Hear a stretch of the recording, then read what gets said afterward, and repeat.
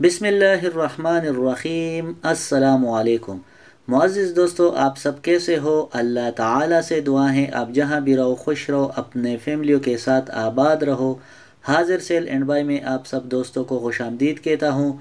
आज हम जिस गाड़ी का रिव्यू करने वाले हैं, टोयटा करोला एक्सलाई 2011 मॉडल है, जो सेल के लिए अवेलेबल है। पूरी डिटेल हम आपको वीडियो में बताएँगे तो प्लीज़ वीडियो आखिर तक देख लीजिए। छोटी सी गुजारिश ये भी, अगर आप हमारे चैनल पर नए हैं तो प्लीज़ हमारे चैनल को भी सब्सक्राइब कर लीजिए। एक सलाई 2011 मॉडल है बाहर से ओनर के मुताबिक शावर है, अंदर से टोटल जेनवन कंडीशन में है। स्क्रैच वगैरह नहीं है इंटीरियर और एक्सटीरियर बिल्कुल साफ़ सुथरी है इंजन मकीनिकली बिल्कुल फिट है, कोई इशू कोई प्रॉब्लम नहीं है गाड़ी के इंजन में।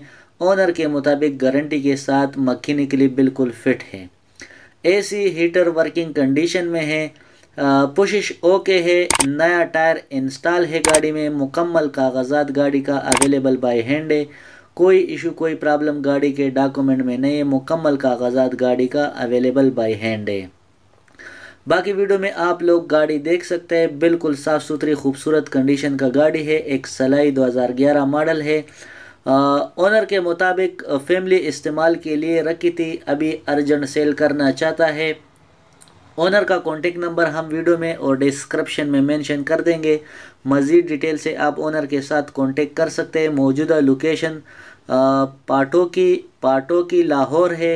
लाहौर जो है, ये मौजूदा लोकेशन है गाड़ी का। बाकी ओनर के साथ आप कांटेक्ट करके मज़ीद डिस्कस कर सकते हैं। एक सलाई 2011 मॉडल है। ओनर का जो डिमांड है, सत्रह लाख तीस हज़ार है। ये फाइनल प्राइस नहीं है दोस्तों, इसमें कमी पेशी हो जाएगी।